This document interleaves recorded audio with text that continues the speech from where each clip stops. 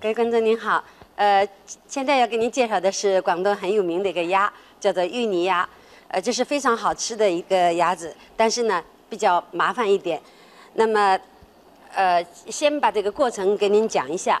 鸭你买半只就够了，半只鸭买回来之后呢，用酱油把它涂上颜色，然后呢在热的油里头炸过，炸了以后呢，炸成黄颜色、焦黄的颜色之后呢，给它放到盘子上，然后呢给它撒上一点花椒啊、八角啊，放一点葱姜，那么就去蒸。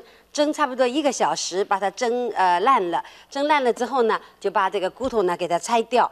那么这里呢已经有一只这个鸭子，就是已经呃拆了骨头的，还有一点大骨头没有拆掉。把这个骨头每一个呃都给它拔呃拔掉。拔掉了呢，等一下把这个鸭呢要给它摊平了。摊平了以后呢，再放这个芋头。这个芋头呢是一大块一一大个的芋头，切了片，蒸熟了的以后呢，给它压碎了，压得越碎越好。然后呢，这里是成面。这个成面呢，就是面粉的一种这个呃淀粉，把它用开水烫过了，烫过了以后呢，放到这个里头来，那么跟这个芋头一起呢来揉。这个里面呢还要加一点这个猪油，然后呢还要加一点这个切碎的呃火腿呀或者香肠啊。这里呢是虾米，把这几样东西呢都放在一块儿，当然还要放一点调味料。这个调味料呢包括了有这个胡椒粉，还有一点这个盐巴。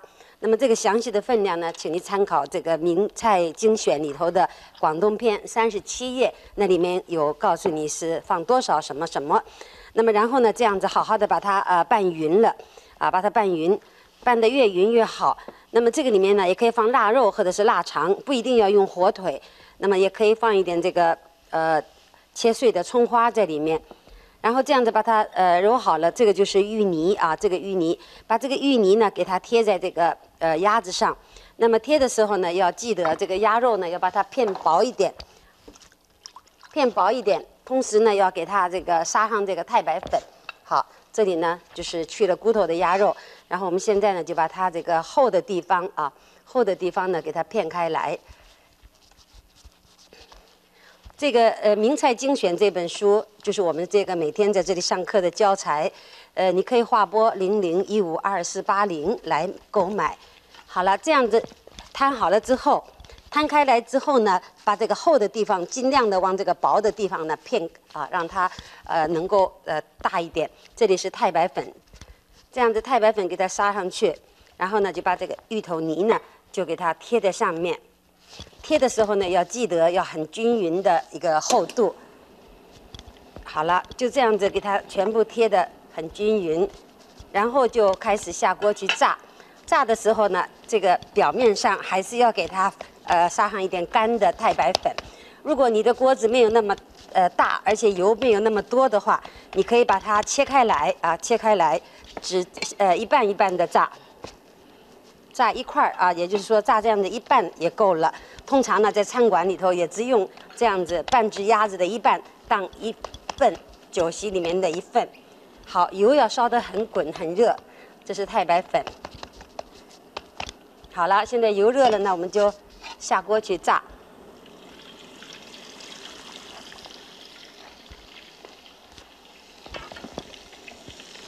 要把它炸的它浮起来啊，就是能够呃炸的黄黄的、酥酥的，能够起呃浮到这个油的面上来了，那样子才算是熟了。那么另外呢，吃这个的时候呢，需要一个汁，这个汁呢已经做好了，是用蚝油加上高汤，弄一点油炒一炒，放一点葱花，这样子用两个小碗装的，等一下呢来蘸这个呃吃的。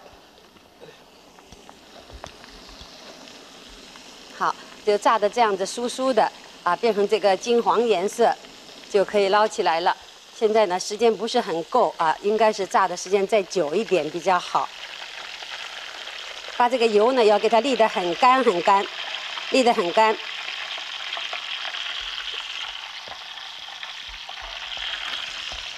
因为这个炸好了以后呢，这个很酥，切的时候呢要小心啊。然后就是把这个边上可以拿掉一点。然后一块一块的，这个一块一块的这个宽度不到一寸，不到一寸，差不多呃八分，也就是两公分多一点，两公分半的宽度就可以了。这样子切好以后呢，就把它很小心的鸭肉朝下，芋头朝上，这样子给它呃铺在这个，不是铺在，就是装在这个盘子里。这个盘子的底下给它铺一点生菜丝，给它作为一个点缀啊，一个颜色的点缀。好，这个就是呃广东的一个名鸭芋泥鸭的做法。谢谢您的收看，我们明天再会。